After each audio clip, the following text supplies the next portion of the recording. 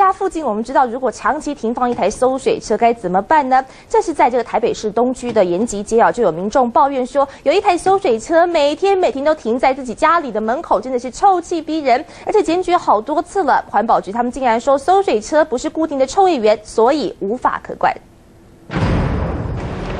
经过这条巷子，不分男女老少，赶紧捏住鼻子，看重要。先生，那个每次经过这边是都很臭的。对啊，每次都很臭。那安呢？到底是什么样的臭味这么让人动不了？在台北市延吉街的巷弄内，我们竟然发现了有三点五吨重的货卡，而且这上面这一桶又一桶蓝色的桶子，竟然里面都是装着馊水，味道相当难闻。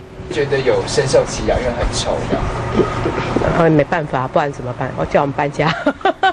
嗯，我们用诶憋气憋气在骑摩托车。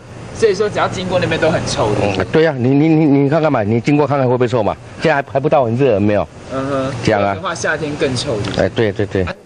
真的很夸张，这台货卡上面可是有一二三四五六七八九十，整整十桶馊水，多次被检举，环保局却认为馊水车是可移动的车子，不是固定臭味源，所以无法可管。如果没有法的问题的话，应该也不是老百姓要受罪嘛。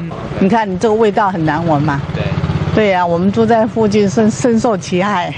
找不到法则，民众怨声载道。这台搜水车已经在这社区存在二十年，臭毛毛，在每平平均八十万的北市延吉街成为最大对比。就是李世健、李佳远台北采访报道。